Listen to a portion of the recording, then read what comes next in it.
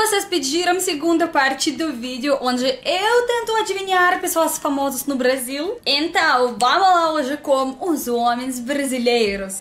Olá, gente, tudo bom com vocês? Meu nome é Olga e sou russinha que mora no Brasil. Ai, Nossa Senhora da Muerte, eu já estou preocupada porque porque paguei muitos micos no vídeo com as mulheres brasileiras. E neste vídeo de novo meus amigos prepararam para mim 11 fotos dos homens brasileiros e agora eu preciso adivinhar quem eles são. Homens famosos. Vamos lá?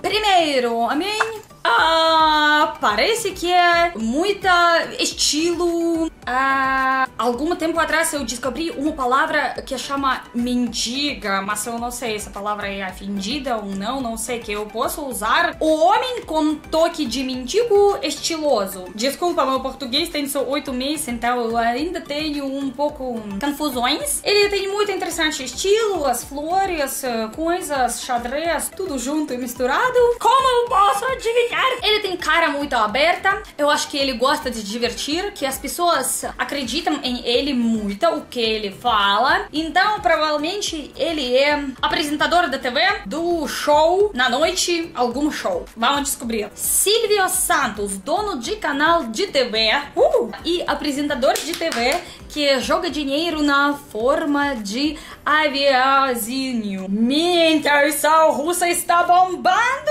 hoje, né? Ah! estão no fogo. Próximo homem. E. que que é isso? Um, ele tem estilo muito interessante também, como essa chapéu e como essa camiseta. Parece que ele é gosta da vida dele. como essa joinha joelha, joinha, como se chama isso? Hum, ele é. Ele tem muitas fofas bochechas. Parece que ele gosta de comida gostosa. Ele cozinha alguma comida. Pode ser na TV. Pode ser ele é chefe, cozinheiro famoso no Brasil. Ele não parece como um político famoso brasileiro, né? Os políticos no Brasil não vestem assim. Eu não sei. Isso é mais complicado do que adivinhar as mulheres. Vamos falar que ele é cozinheiro famoso brasileiro e, na verdade, ele é Tiririca, humorista, cantor, palhaço e político no Congresso Nacional com a maior votação da história. Ah, de, de opositor, minha intuição russa, o que, que você está fazendo? E no último momento cheguei na minha cabeça, ele não pode ser político. Brasil é país das possibilidades, gente.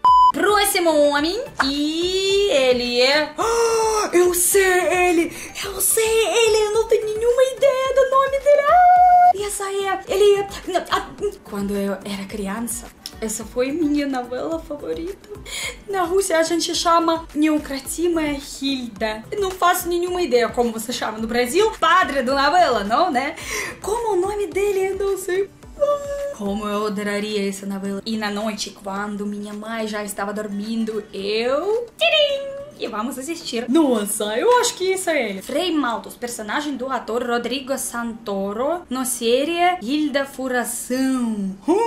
Sucesso no Brasil e no mundo. É verdade, e na Rússia. Porque o nome da mulher eu lembro. Ana Paula Rose. Mas o nome dele, não, infelizmente não, desculpa. Mas eu sabia, eu sabia.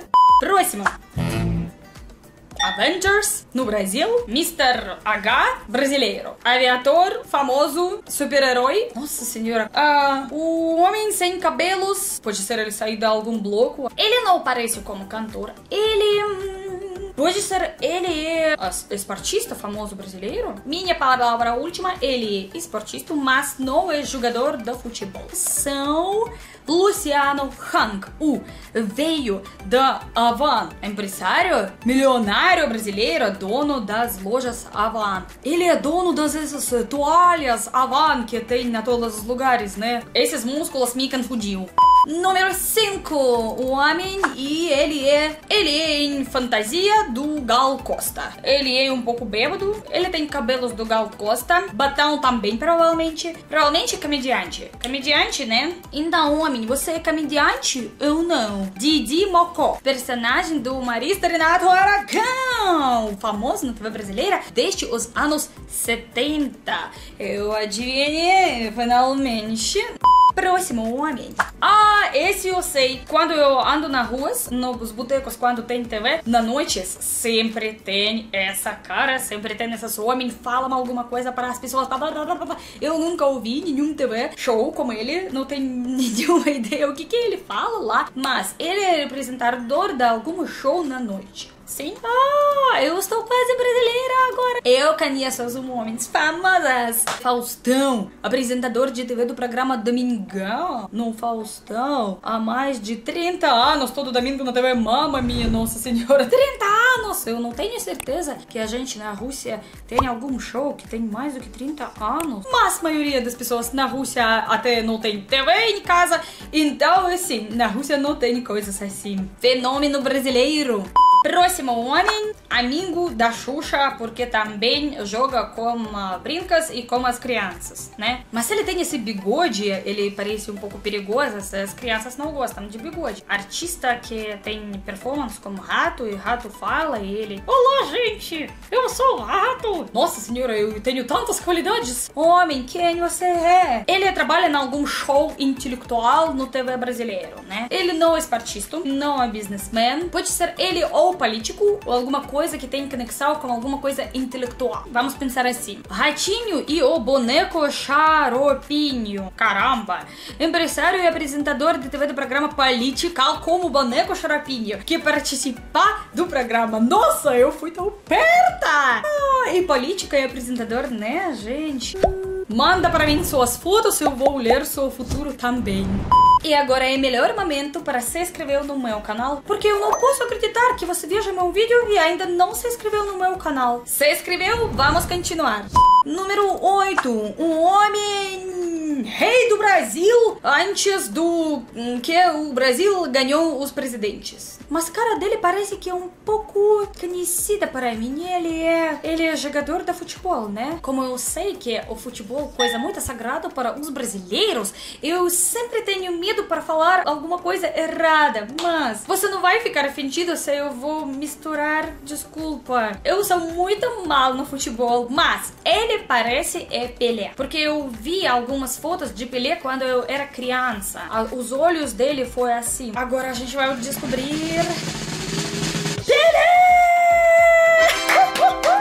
Também conhecido como Rei Pelé, o maior jogador de futebol de todos os tempos, três vezes campeão mundial. No Brasil, só jogou no time Santos. Hum eu visitei Santos uma vez. Viu meu vídeo do Santos? Caramba, da minha vida. Foi muito perigoso, foi muito perigoso. Próxima um, cantor de funk, é, marajada árabe com muitas esposas. Gente, não sei. Ah, caramba, muitas bundas. Desculpa, cantor. Na minha cabeça chega já os clipes do funk e tudo assim. Mas a qualidade da foto tá muito mal. Parece que a foto não é novo, mas vamos deixar como cantor. Quem ele é? Ronaldinho Gaúcho? É jogador de futebol, um dos maiores jogadores dos últimos tempos, famoso por gastar gostaram muito de festas. E... Desculpa, gente, eu falei que eu sou muito mal no futebol. Mas eu percebi que ele gosta das festas. Sim. Número 10. E esse é... é ele brasileiro? Tem tantas memes na Rússia como essa cara, como esse homem. Eu até pensava no momento que isso é fotoedição, porque como a mesma pessoa como... Caramba da minha vida. Ele aparece como uma propaganda do pasta de dentes do Brasil. Ou ele é algum artista como Andy Warhol brasileiro, né? Ou é modelo, pode ser ele modelo, designer, modelo, né? Herói dos memes russos. Chico Barque de Holanda Holanda, cantor, compositor e escritor, considerado um dos maiores artistas do país. Nossa senhora, eu não sabia, muita desculpa. Mas o que me confundiu é memes russos. Como sempre. Agora tem o último homem e eu espero que eu não vou ter o mesmo problema como a grávida de Tubaté. Vamos lá? Isso é... Isso Nossa Senhora da Muerte. O homem com interessante nariz grego.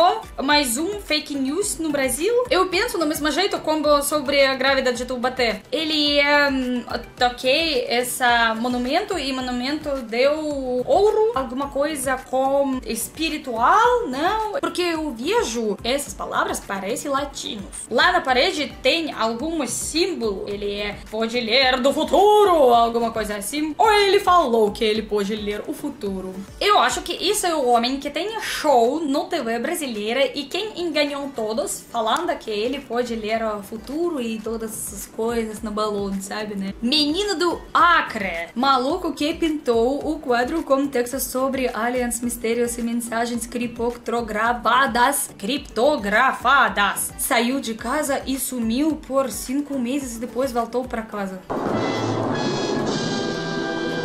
Até não sei o que pensar. Ao menos aqui eu não encontrei o chupacabra. Brasil precisa ser estudado de NASA. Deixa like para esse vídeo, fala nos comentários o que você achou e eu beijo a todos vocês. Abraço a todos. Tchau, tchau, gente.